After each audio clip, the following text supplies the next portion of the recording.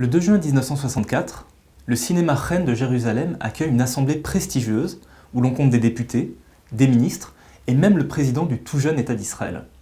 Tous se bousculent pour assister à la première de Salar Shabati. Malheureusement pour Ephraim Kishon, le réalisateur, la soirée tourne au cauchemar. Affligés par le spectacle qu'il aurait proposé, plusieurs journalistes quittent la salle avant la fin de la projection. La propre épouse d'Ephraim Kishon, comme il le racontera par la suite, le supplie d'arrêter de tourner des films.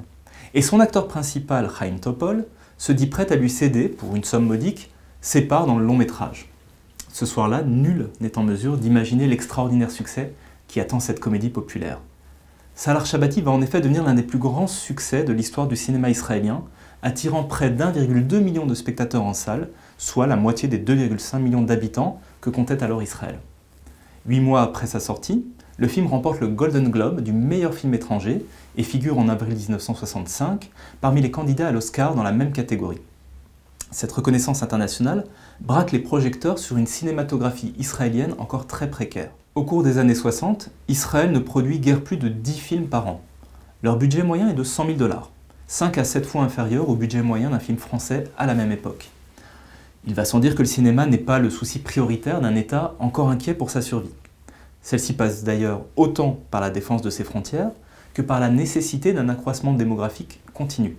C'est sur ce point que l'intrigue de Salar Shabati rencontre l'histoire récente d'Israël, en l'occurrence celle des années 50. Le film s'ouvre sur l'atterrissage d'un avion dont descendent tout d'abord des touristes fortunés, suivis par une famille de nouveaux immigrants, des juifs orientaux, pauvrement vêtus, chargés de baluchons et d'ustensiles de cuisine. Le chef de famille, Salar Shabati, est un personnage haut en couleur, autoritaire, vieux jeu, paresseux et roublard, colérique et sentimental.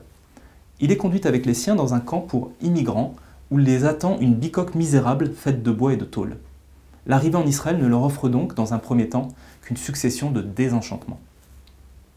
Durant tout le film, Salar Shabati demeure imperméable aux valeurs sionistes de travail, de solidarité et d'abnégation patriotique que tentent de lui inculquer les représentants ashkénazes du kibbutz voisin. Il préfère passer ses journées à boire au bistrot du camp, à tremper dans diverses combines ou bien à jouer d'interminables parties de backgammon durant lesquelles il dépouille méthodiquement son voisin. Grâce à sa fille et son fils aîné, qui tombent tous deux amoureux de leurs instructeurs du kibbutz, la perspective d'une intégration future se dessine. Le film se termine ainsi sur un happy end, avec l'annonce d'un double mariage et l'attribution d'un appartement neuf à la famille Shabati. Le scénario d'Ephraim Kishon s'appuie en fait sur l'assemblage de cinq sketchs qu'il avait écrits et fait jouer durant les années 50 par la troupe militaire de chansonniers à Nahal, où Chaim Topol, Harry Kenstein, Rizohar ou encore Yehoram Gaon firent leur début, puis par la troupe Batzal Yarok, l'Oignon Vert. Ces sketchs, dans lesquels Chaim Topol incarnait déjà Salar Shabati, avaient connu un grand succès à la radio avant d'être portés à l'écran. Sous ces airs de farce, le film d'Ephraim Kishon met en lumière la pénible réalité que de très nombreux Israéliens, durant les premières années d'existence de l'État, ont connu dans les Mahabarot. Il s'agit de ces camps de transit insalubres où furent parqués sans ménagement, dans l'urgence et faute de mieux, les immigrants qui arrivaient aussi bien de Pologne et de Roumanie que du Maroc, d'Irak ou du Yémen. Dans son documentaire Mahabarot, en 2019, Dinas Viriklis recueille les témoignages poignants de ceux pour qui l'installation en terre promise se fit au prix d'un traumatisme national. Un traumatisme né de la brutalité de mesures prophylactiques administrées sans la moindre explication, de la condamnation de la culture d'origine des nouveaux arrivants et du regard méprisant porté sur eux, notamment par l'élite ashkénaze sur les juifs d'Orient. Entre 1948 et le début des années 1970, 850 000 juifs provenant de pays arabes et musulmans vinrent s'installer en Israël. Craignant de voir leur influence modifier la société israélienne de l'intérieur, le Premier ministre David Ben Gurion déclara dans les années 50 Nous ne voulons pas que les Israéliens deviennent des Arabes. Il est de notre devoir de combattre l'esprit du Levant qui corrompt individus et sociétés et de préserver les valeurs juives telles qu'elles se sont forgées en diaspora. C'est cette même condescendance à l'égard des juifs orientaux qui est souvent reproché à Salar Shabati. Envisageant le film à travers un prisme postcolonial, inspiré par les travaux d'Edward Said, la chercheuse israélienne Ella Shochat dénonce les stéréotypes orientalistes poussés ici au plus haut point.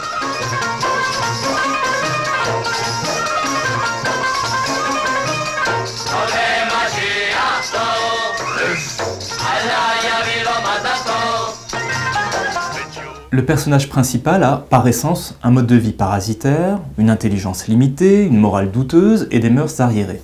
Hurlant à tout va, parlant avec un accent grossier, d'une voix grasseillante, il apparaît on ne peut plus caricatural.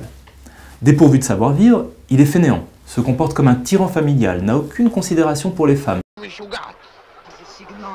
לא מדבר עם אישה. קשה לשמוע זאת. לא צריך לשמוע, גברת. אישה לא יושבת שומעת מה גברים מדברים. אישה הולכת לעבוד, כביסה ספונג'ה, לא יושבת שומעת, מה יש? אדוני היקר, אנחנו חיים במאה ה-20. אני חי במעברה, גברת. ne sait pas exactement combien il a d'enfants, mais n'hésite pas à leur extorquer leur salaire pour le dépenser en alcool. Preuve qu'il s'agit là d'un regard occidental réducteur, Salar Shabati est interprété par un acteur ashkénaze, Chaim Topol, dans le film d'un cinéaste ashkénaze, Ephraim Kishon. Pourtant, ce dernier était loin d'être un vulgaire amuseur. Né Ferenc Hoffmann à Budapest en 1924, Kishon se fit très tôt remarquer pour ses dons d'écriture, mais il dut interrompre ses études à cause de la législation antisémite hongroise. Interné dans différents camps par les nazis en 1944, il échappe à la mort de justesse. Après-guerre, il suivit des études artistiques avant de partir pour Israël en 1949. Il y devint dès 1952 le chroniqueur satirique très en vue du quotidien Mahariv. Ephraim Kishon publia durant sa vie une quarantaine de livres, écrivit une dizaine de pièces et réalisa cinq films. Salar Shabati fut le premier d'entre eux. En 1972, son quatrième film, intitulé Le policier azoulay, remporta lui aussi le Golden Globe du meilleur film étranger et fut également nommé pour l'Oscar. Le couronnement de cette riche carrière fut la réception en 2002, trois ans avant sa disparition, du très prestigieux prix Israël, saluant l'œuvre d'une vie et une contribution exceptionnelle à la nation. Si les Juifs orientaux font l'objet d'une représentation caricaturale dans Salar Shabati, l'élite ashkénaze en prend aussi pour son grade. Notons que le film sortit en juin 1964, un an après le départ de Ben Gurion, qui mit un terme à ces 15 années passées de manière presque ininterrompue à la tête du gouvernement.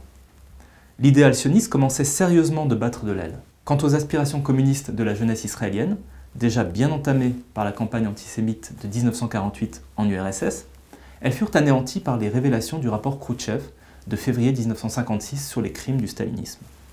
Salar Shabati est une satire féroce de l'establishment sioniste et travailliste de l'époque. L'idéologie collectiviste du kibbutz y étouffe les aspirations personnelles des jeunes.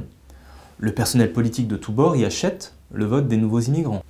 Ou encore un fonctionnaire donne à une même parcelle de forêt le nom de plusieurs riches donateurs américains qui, successivement, viennent inaugurer un panneau différent portant leur nom à eux. Même le happy end, avec l'obtention d'un logement décent, est le produit d'une ruse jouant sur le caractère autoritaire du gouvernement. L'image négative que cette comédie pouvait donner d'Israël inquiéta nombre de responsables politiques.